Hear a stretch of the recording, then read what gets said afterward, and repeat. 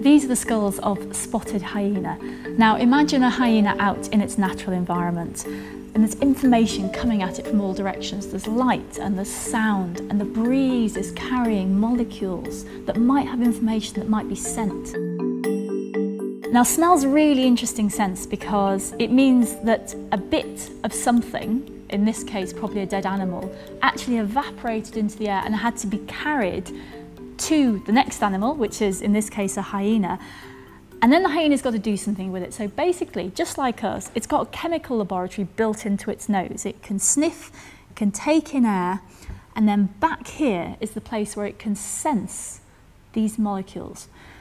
Now, for us, scent is a secondary sense. We don't really use it that much, but it's the best source of information that hyena's got. So it's got to make the most of this resource. And so built into its nose, it's got a structure which gives it the edge, which lets it find food when it, that food could be a long, long way away.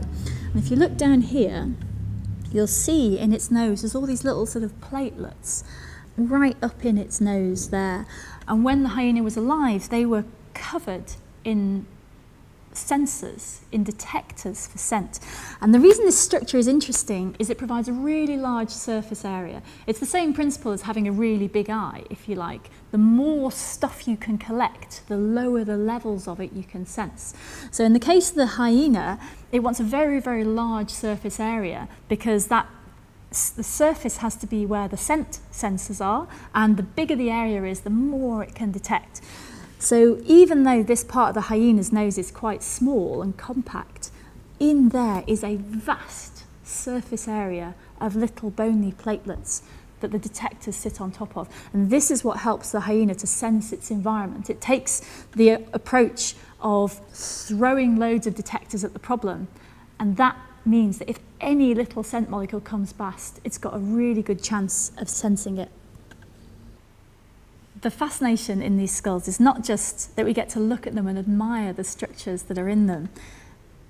It's that potentially we can be inspired by these structures to do things better ourselves.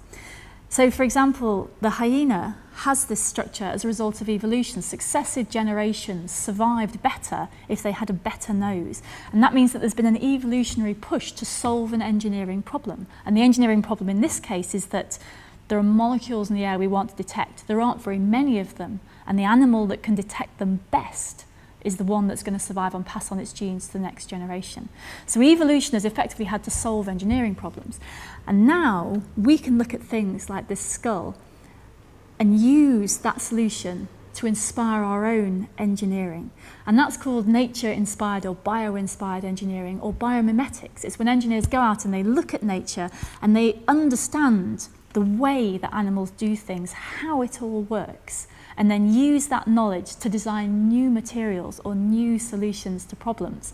And so it's an amazing thought that in this room here, with all of these skeletons around me, there are probably solutions to problems that engineers have now, and the animals solved those problems generations ago. But if we looked hard enough, potentially in this room, there are solutions to new future problems. And so the reason that it's worth a physicist or an engineer looking at animals is not just to admire how they work, but to find ways to use that information to make better materials, to solve bigger problems in the future.